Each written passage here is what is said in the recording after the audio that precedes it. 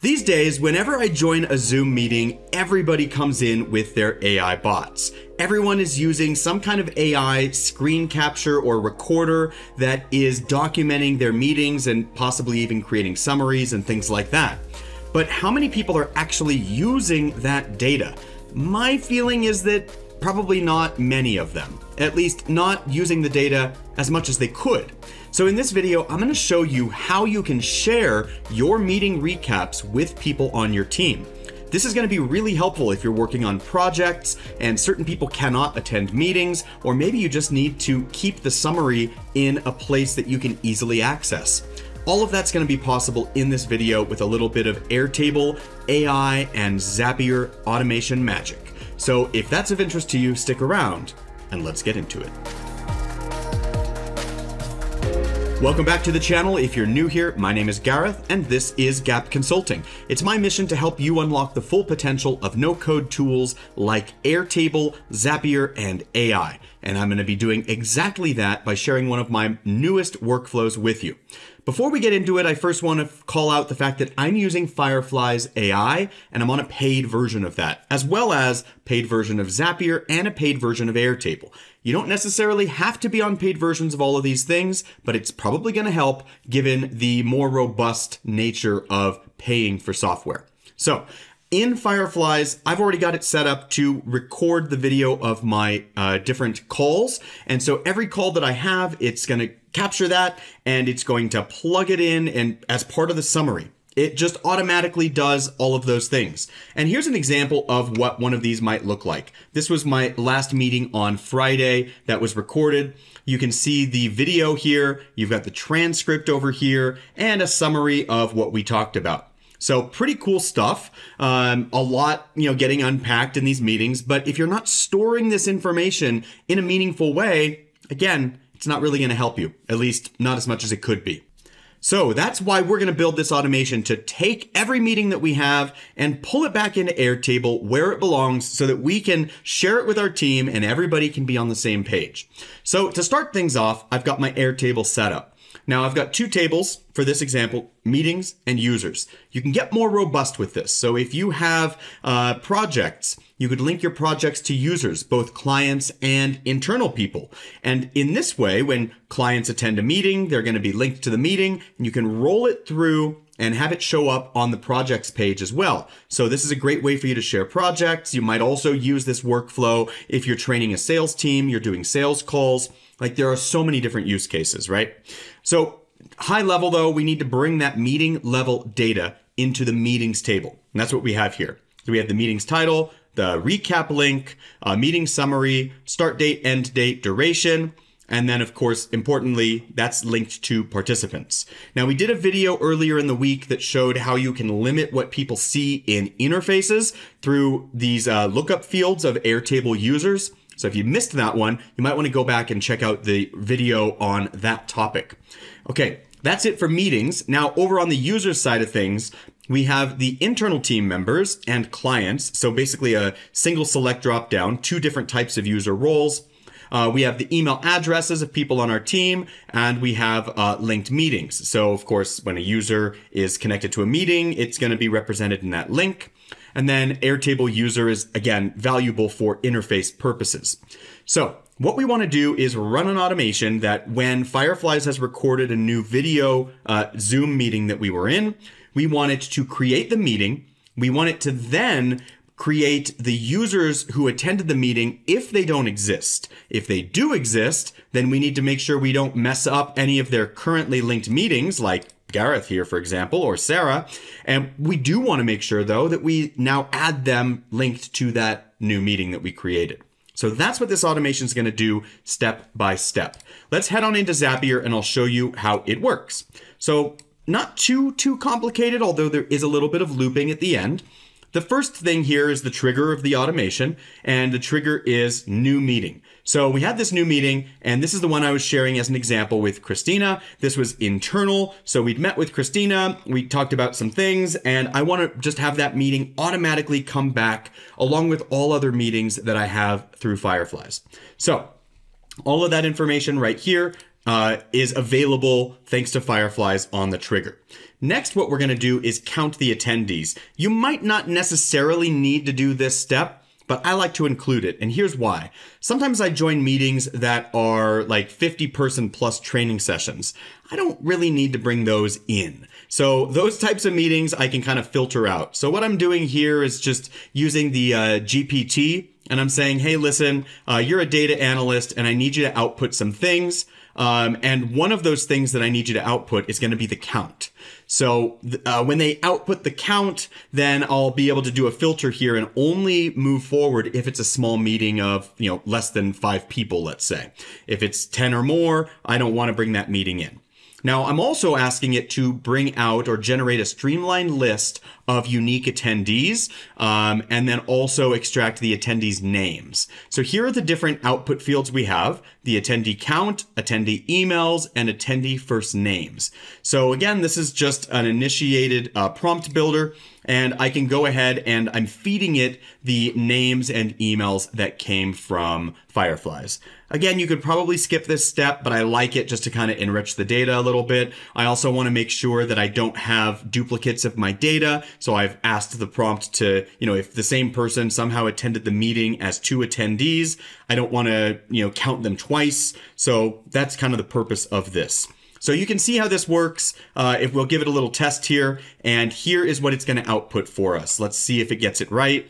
AI can sometimes be a little wonky. All right, perfect. So comma separated, you see that it was a meeting with me and Christina, two attendees, and we've got attendee emails. AI is really, really coming far in a short amount of time, and I'm using it here in this automation to save me a lot of headache. All right, next, my filter. Filter is easy enough and I already explained it. I don't want these meetings to be recorded in Airtable if they were big webinars. Only small meetings. So anything where the attendee count that we just produced from AI is five, four, three, two, or one. So less than six. If it's greater, six or greater, it's not going to be passing this filter. So here we can retest the filter and confirm because we had two attendees, this will continue on in our automation. Next, I'm going to create that meeting record and check out all the different things that we can plug in here. I mean, it's honestly pretty exciting. Uh, our end date is a calculated field. So we have the start date, and then we have the duration date or the duration here, and we're bringing both of those things in and we're able to calculate when the meeting ended. Uh, I also have this meeting summary and the meeting recap link copy. Now for this, I'm bringing in the transcript URL and you'll see why in a moment when I share it. Next, I have the meeting summary here, and this just gives me a bullet point breakdown of the meeting. And that's pretty much it. I'm not linking to participants yet, and that's because I need to do a little bit of a loop on that. So let's actually run this part and see what it produces in Airtable. So it's going to put that meeting together for us. And I'm going to pop on over here to Airtable and go to my meetings table. And this is the new one that just got dropped in.